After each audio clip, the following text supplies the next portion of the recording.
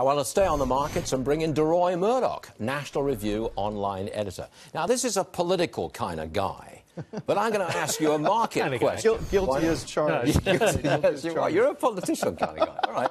Look, to see that rally, I mean, that's a gung ho rally. wonderful. Why does Donald Trump, our president, why doesn't he get any credit? And I mean, and why isn't the media covering it? Nowhere in the New York Times, on the front page at least, is there any mention of what's going on. He doesn't get credit for the good things, which is increasing 401k values, uh, increasing bonuses, increasing human happiness. When people can pay their bills, they're usually happy and not grumpy and, and, uh, and uh, grumbling.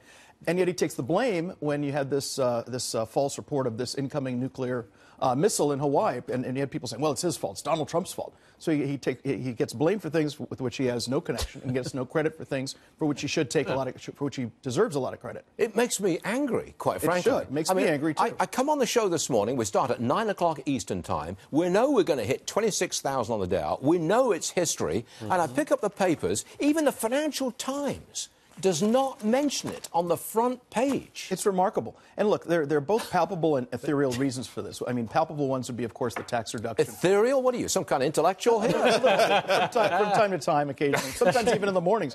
Uh, so things like the tax cuts and deregulation, of course. But I think one of the things that really has helped this market is tone. We heard for eight years from Barack Obama, you didn't build that. You're the bad guy. You're one of those uh, wealthy 1%. Capitalists, capitalists like you are ruining this place.